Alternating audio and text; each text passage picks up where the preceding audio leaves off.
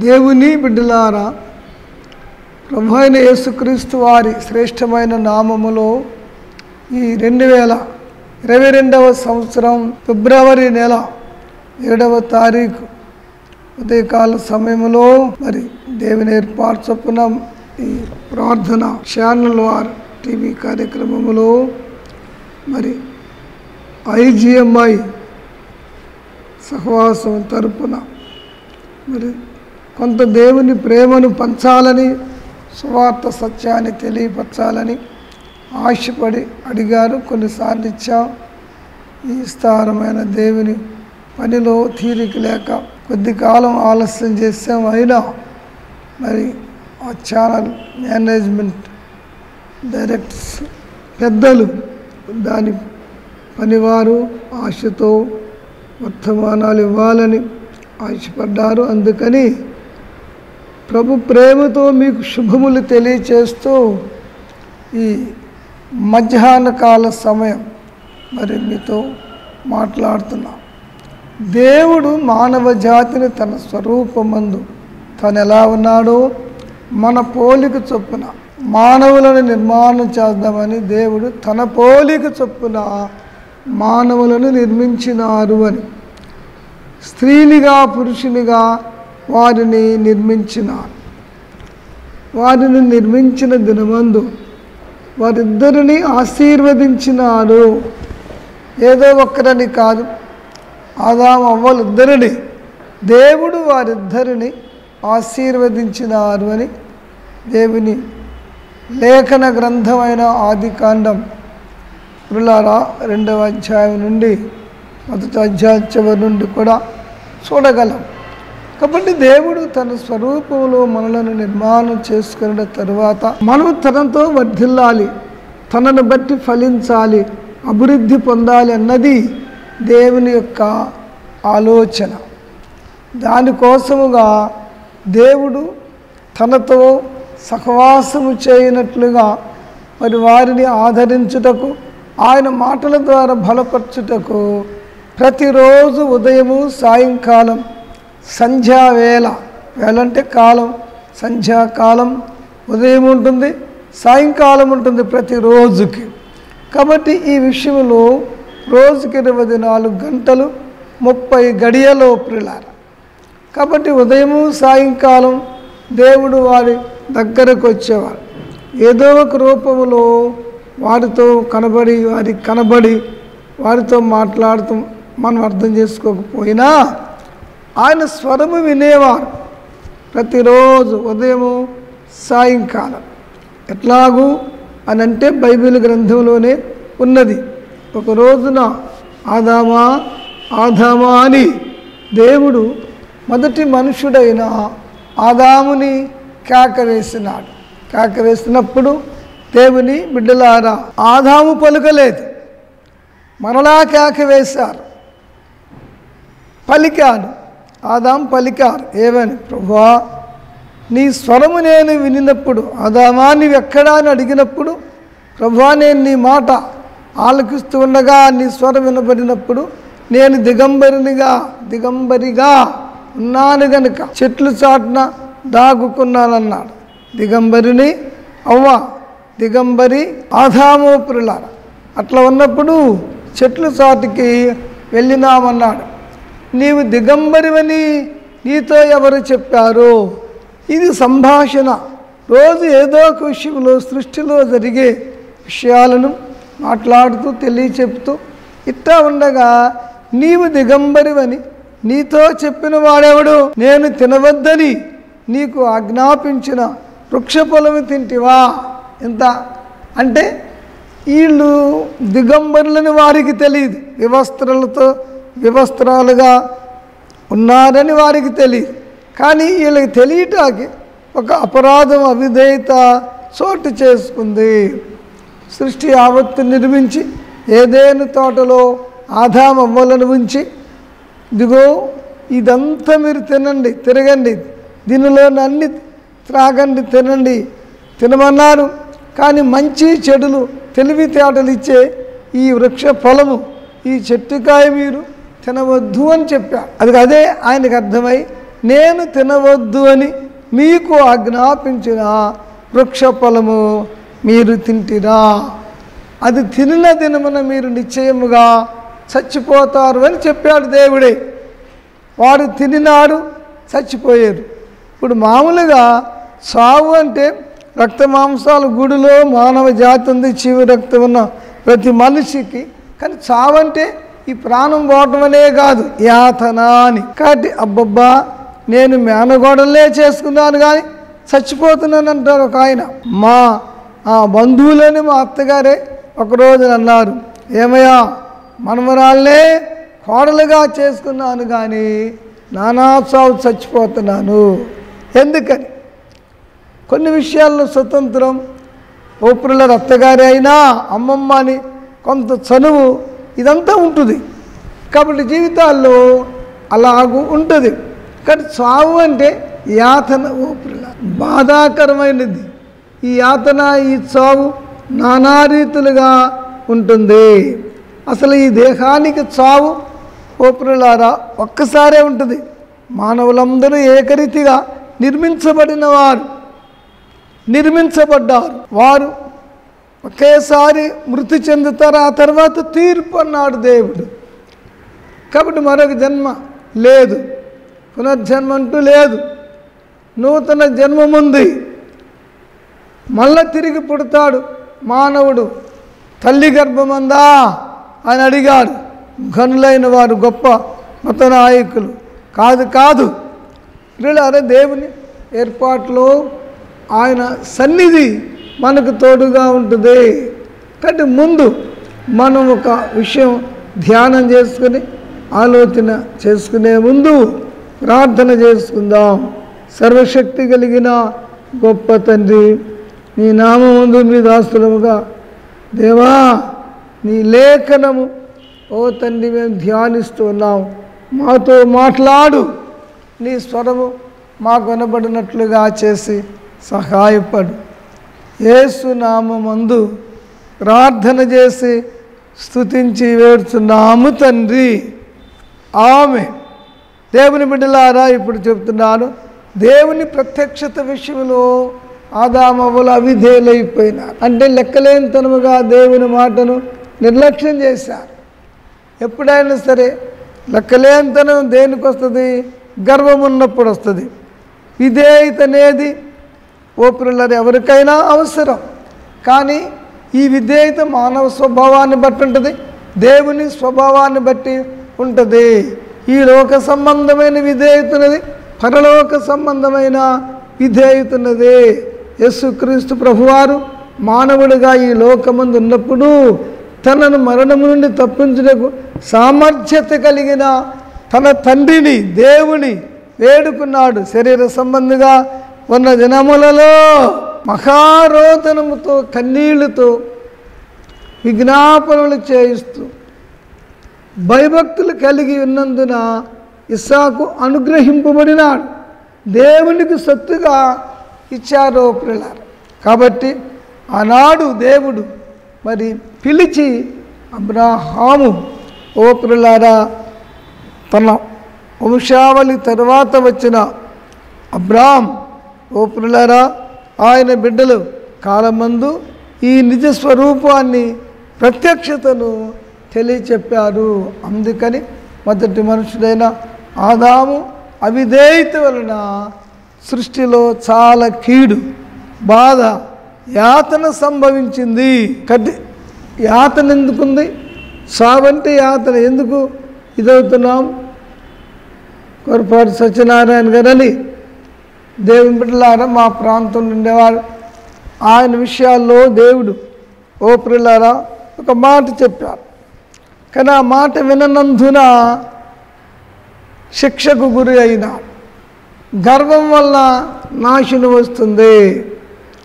నేను ఒక రోజున నాకేమి అవసరం దేవుడు? దేవుడు ఎక్కడున్నాడు? దేవుడేమిటి? ఇదంతా ఏమిటి? ఒట్టిది. నువ్వు చాలా భక్తి కలిగి ఉండేవాడవు చదివే రోజులలో నాలుగు సంవత్సరాలు ఆరవ తరగతి ఏడవ తరగతి ఎనిమిదవ తరగతి తొమ్మిదవ తరగతి పాస్ అయ్యే వరకు నాలుగు సంవత్సరాలు ఒకే క్లాస్ రూమ్లో ఉండేవాళ్ళం. ఓ ఏడు డివిజన్ సెక్షన్లు ఉండేవి. మేమిద్దరం ఒకే క్లాస్ రూమ్లో ఉండేవాళ్ళం. ఆర్ఎస్ ఆయన పేరు ముందుండేది నా పేరు తర్వాత ఉండేది. ఆయన పేరు రామకృష్ణ. నా పేరు సుదర్శనము. కాబట్టి అందుకని ఆర్డర్ ప్రకారముగా క్రానలాజికల్ ఆర్డర్ ప్రకారం మేమిద్దరం ఇట్లా ఉండేవాళ్ళు. చివరుండేవి మా పేర్లు. మరి అక్షరమాలలో ఆంగ్ల అక్షరమాలలో ఎస్ చివరికి వస్తుంది. అందుకని నా పేరు చివరికి ఉండేది.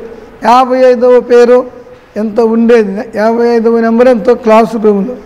కాబట్టి నాలుగేళ్ళు అక్కడ చదివి తర్వాత వేరే స్కూల్కి వచ్చాను నేను. చల్లపల్లి కృష్ణా జిల్లా చల్లపల్లి ఎస్ఆర్వైఎస్ స్కూల్ నుండి చదివి తొమ్మిది తరగతి పాస్ అయి పెడసన్ గల్లీకి వెళ్ళాను. కాబట్టి ఆ నా స్నేహితుడు ఒక రోజున వచ్చాడు. వచ్చి చాలా సౌమ్యముగా దీనత్వముగా దీనుడుగా ఉండేవాళ్ళం పిల్లలు అటువంటి పరిస్థితుల్లో ఆయన ఒకరోజు వచ్చారు. మూడు రోజులు వచ్చారంట కానీ నేను చెప్పాను లేనని చెప్పాడు. నువ్వు మూడు రోజులు లేవురా సుదర్శను నీ కోసం వచ్చాను. కానీ ఇప్పుడు ఉన్నావన్నాడు. అప్పుడే నూజిబీడు తాలూకా అక్కిరెడ్డిగూడెంలో మహాసభల్లో దేవుని వాక్య పరిచర్య చేసి ఇంటికి వచ్చాను భోజనం చేద్దామని స్నానం చేసి భోజనానికి కూర్చుంటే ఆయన వచ్చారు.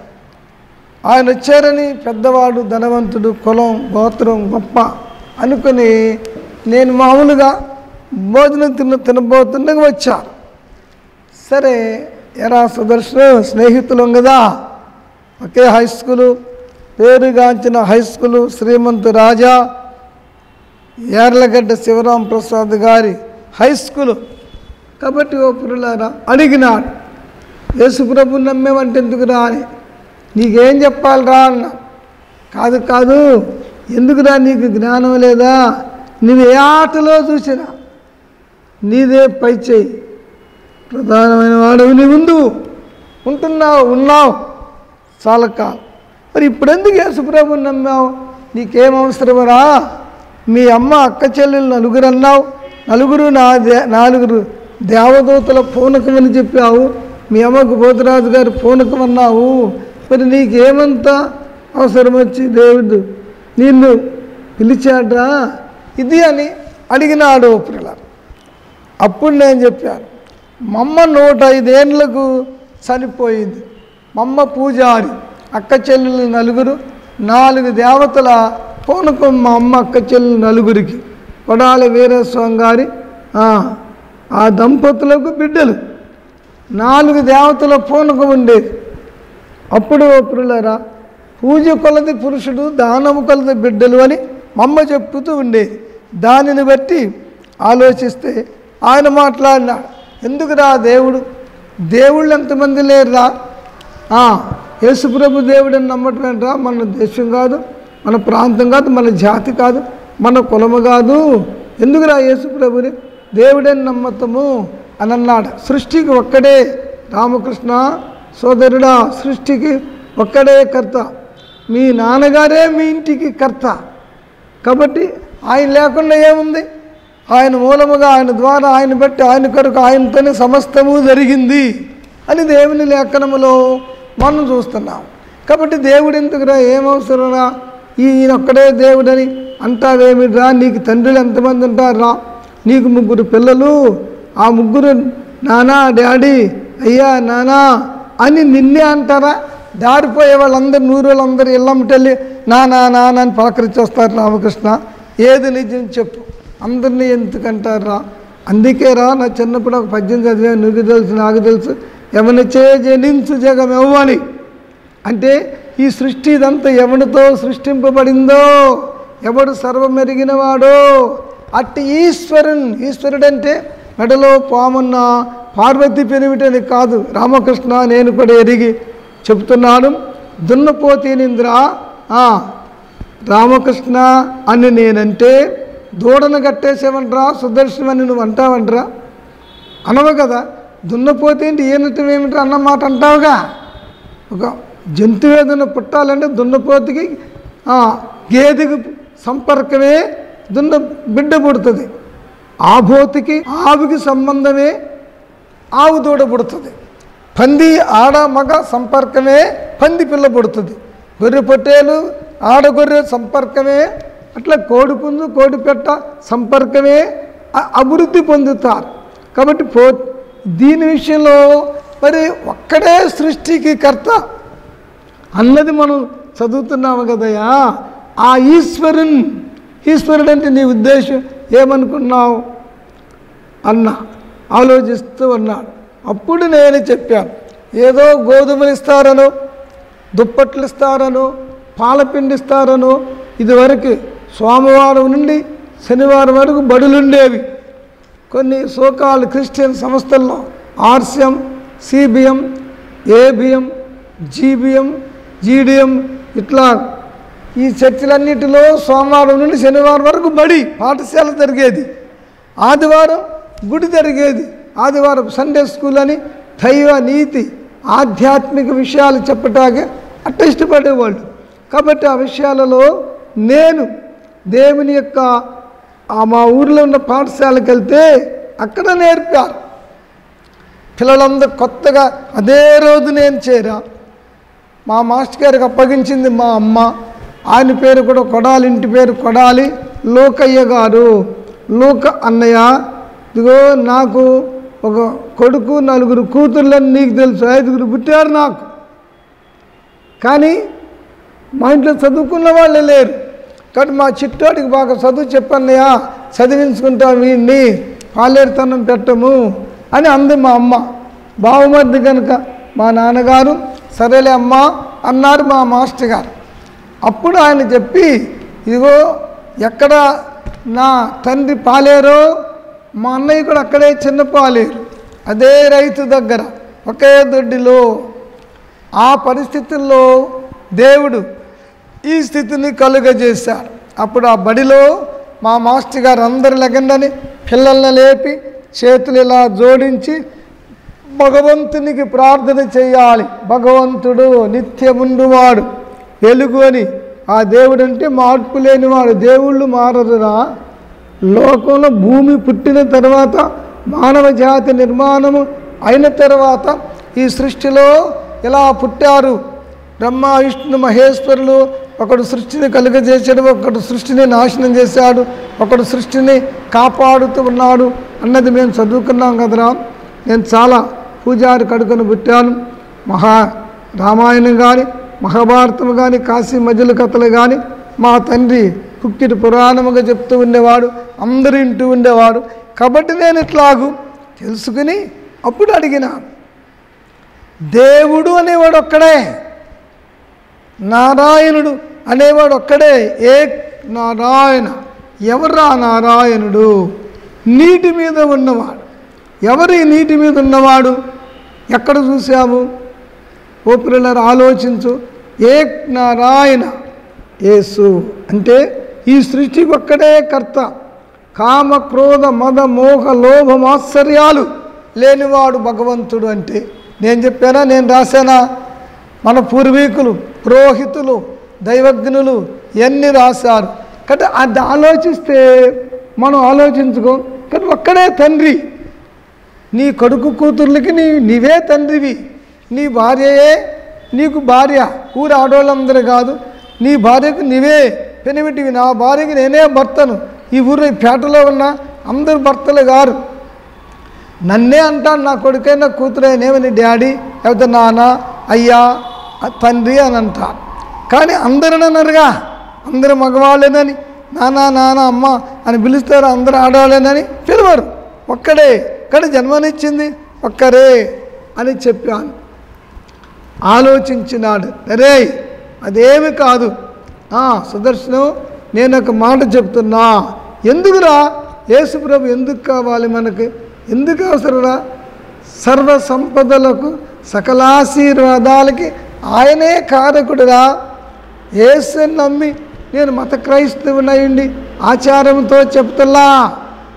యేసు వారి ప్రత్యక్షత నేను పొందా. గ్రుడ్డివాడిగా జీవితాన్ని ఇచ్చేసుకోవట్లేదు చేసుకోవట్లేదు వారి ప్రత్యక్షత పొందా. అందుని బట్టి నేను అనుభవపూర్వకంగా చెప్తున్నాను. రామకృష్ణ పొరపాటు మాట్లాడుకోవద్దు మన ఇద్దరం కాబట్టి మనం కలుగ చేసుకున్నవి ఏర్పాటు చేసుకున్నవి నిర్మాణం చేసుకున్నవి దేవుళ్ళు దేవతలు. ఇంటికి ఒక దేవత ఉంటుంది పొలిమేరకు ఒక దేవత ఉంటుంది గ్రామా ఒక దేవత ఉంటుంది గ్రామ దేవతలు. పొలిమేర ఒక దేవతలు ఉంటుంది క్షుద్ర దేవతలని కొన్ని ఉన్నవి దేవుళ్ళు అని అన్నవాళ్ళు ఎక్కడో ఒక చోట పుట్టి ఏదో ఒక రీతిగా మాట్లాడి జీవితాలు గడుపుకున్నవారే కదా. వారు పెళ్ళిళ్ళు చేసుకున్నారు కాపురాలు చేశారు బిడ్డల్ని కన్నారు యుద్ధాలు చేశారు ఇవన్నీ నేను ఒకసారి చదువుకున్నారా? ఏమని? దేవుళ్ళ లిస్టులో గాంధీజీ అని రాశారు. గాంధీజీ దేవుడు అనరా? మోహన్ దాస్ కరమచంద్ గాంధీ గాంధీ ఇంటి పేరు. ఆయన మహాత్ముడు ఎట్లా అయ్యాడు? గాంధీ మహాత్ములను ఎందుకన్నాం? ఎందుకు అంటున్నారు ఆలోచించుకో అన్న. చెప్పుకుంటా వస్తూ కొన్ని విషయాలు చెప్పాను. ఒక్కడే సృష్టికి కర్త. ఇదిగో ఇలా ఆగున ఉన్నది. అందుకని ఆయన ప్రత్యక్షత నేను చదివా. మా మాస్టర్ గారు క్లాసులో నిలబెట్టి బడిలో చేరిన మొదటి రోజునే చేతులు ఇలా జోడించి ప్రార్థన ప్రా అంటే ముందు అర్థన అంటే అర్జించడం చెప్పుకోవటం. ముందుగా భగవంతుడికి చెప్పుకోవటం. ముందుగా ఎవరికి చెప్పుకుంటారా లేవగానే ఎందుకు దండాలు ఎట్టుకుంటారు? పట్టాలకి దాసాలు ఎట్టుకుంటారు? బొమ్మలకి ఎందుకు?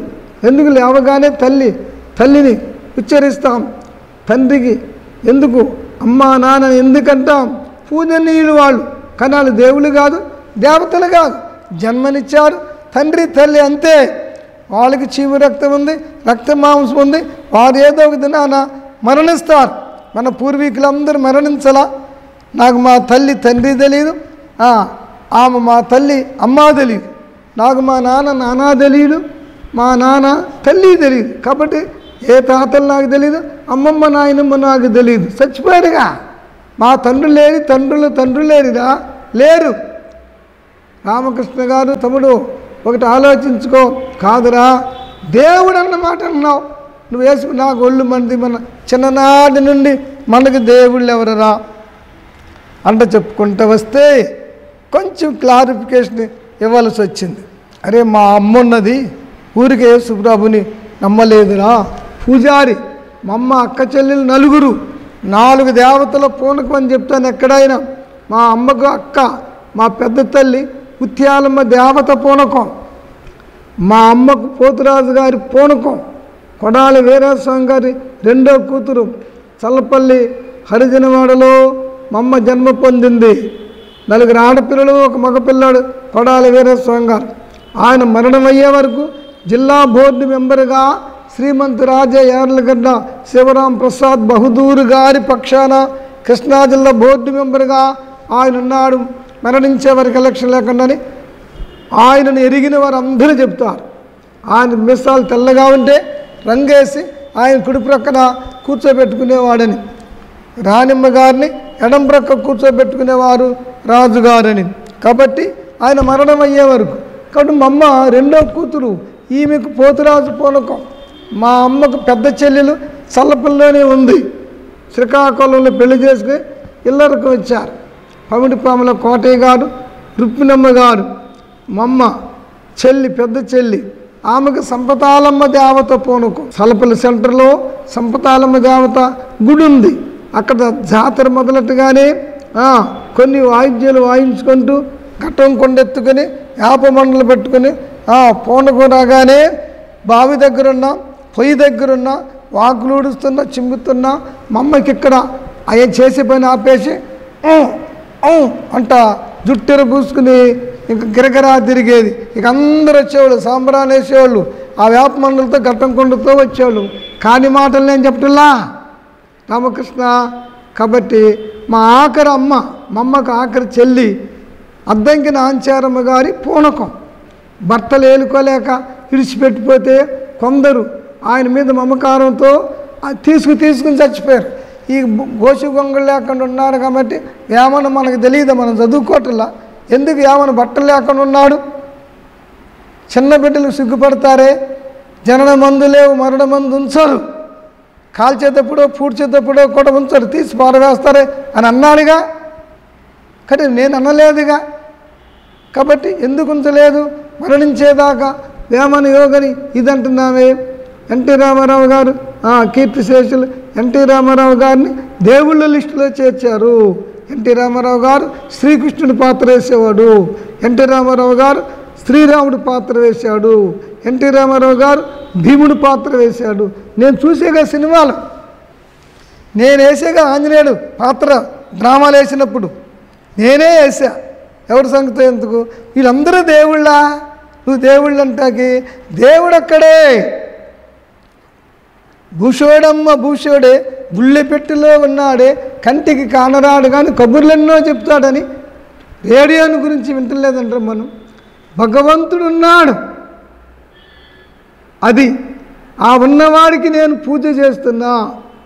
ఇప్పుడు నా త- నా తాత తెలీదు. తాతలే మహాత్మా గాంధీని నేను చూడలేదు. మహాత్మా గాంధీ లేడంటే బాగుంటుందా? నువ్వు ఆలోచించుకో. అన్నా అంటే మా ఇద్దరి మధ్యన సంభాషణ చెప్తున్నా. ఒక సత్యముగా. కాబట్టి ఆయన అన్నాడు కదా అరే నువ్వు ఇంత తెలివైన వాడివి నువ్వు ఎంత చురుకైన వాడివి ఇదిగో పరుగుల్లోనేమి కబడ్డీలోనేమి ఫుట్బాల్లోనేమి కోలో కానీ నీకు సాటి లేదు. నోబెల్ కాలేజీలో కూడా నేను చదివేటప్పుడు కబడ్డీలో నాకు ఎదురు లేదు. నాకు తెలుసు కత్తితో కర్రతో సాధనాలు చేసేవాడిని. నేను నా అనుభవంలో అందుకే ఆడపిల్లలు కొంగొచ్చుకుని జడుచుకుని లాగే పాటలు ఉంటుంది డ్యాన్స్ ఉంటుందని అక్కినేని నాగేశ్వరరావు గారు ఉన్న సినిమాలకు వెళ్ళలేదురా నేను. పదమూడు పద్నాలుగు సినిమాలు చూశాను. ప్రభుని ఎరగక మునుపు పదహారు సంవత్సరాల లోపు అదే అదైనా ఎన్టీ రామారావు గారు ఉన్న సినిమాలే చూసేవాడిని. ఎందుకంటే కర్రతో కత్తితో సాధనం ఉంటుంది అని. నేను ఎక్కడికి వెళ్ళి చదివిన హెడ్ మాస్టర్లు కానీ కమ్యూనిస్ట్ నాయకులు కానీ కర్రెచ్చి పోటీలకు సాధనం చేయమనేవాడు మాయ మాటలు నేను చెప్తున్నా. ఇప్పటికైనా అని ఎక్కడైనా చెప్తా. కాబట్టి రామకృష్ణ దేవుడున్నాడు లేడని ఎవరో అని అనవద్దురా. నీకు తండ్రి ఎలా ఒక్కడో తల్లి ఎలా ఒక్కతే నాకు అట్లనే కటి దేవుడున్నాడు. ఉన్నానన్నావాడవు నీవే. నన్ను కన్నావాడవు నీవే. ఉన్నావు నీవే కన్నావు నీవే హోసల్ నా నీవే నీవే నీవే నీవే నీవే నీవే నీవే నీవే నీవే